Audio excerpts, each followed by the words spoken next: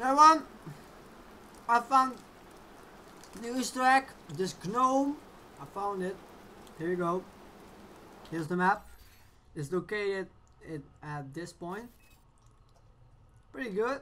Um, pretty good spot. And here it is. It's a gnome. And this is actually an Easter egg. So hope you guys enjoyed this little Easter egg.